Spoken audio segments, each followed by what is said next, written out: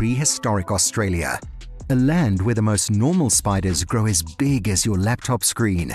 Snakes are seen swallowing crocodiles whole, and even something as harmless as a pine cone can kill you. Australia is home to all the scary things that will make you scream, holy cow, pretty much every animal there is dangerous.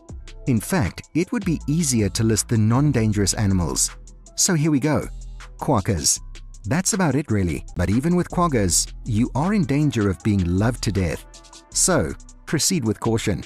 From venomous snakes to ferocious crocodiles, octopuses, and disgustingly overgrown earthworms, the Great Southern Land truly has it all when it comes to nightmare fuel and creepy crawlies. Despite all this, Australia today is a cakewalk compared to what it was just 50,000 years ago. You can imagine prehistoric Australia was a scene straight out of a Jurassic Park movie, but down under and the Varanus priscus is the perfect example why.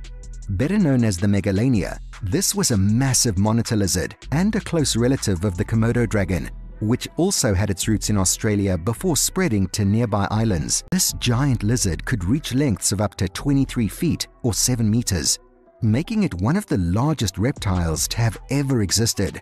And here's a fun, or perhaps terrifying fact. Megalania only went extinct around 50,000 years ago, this means the first humans to reach Australia probably saw these enormous lizards up close and personal. This is why you shouldn't feel too adventurous when you're in Australia, because you can end up coming face to face with a lizard the size of a small bus. Megalania was considered one of the apex predators of Pleistocene Australia, which essentially means it ruled the territory with an iron claw.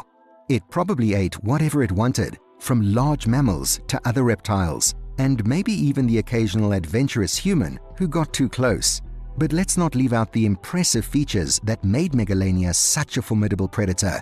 With its strong, muscular build, it could easily overpower its prey, its long sharp claws and powerful jaws were perfect for catching and devouring a variety of animals. Being closely related to the Komodo dragon, it might have even had venomous saliva, making its bite extra deadly. Despite its fearsome reputation, Megalania played a crucial role in its ecosystem, keeping the populations of other animals in check and maintaining a balance in the food chain.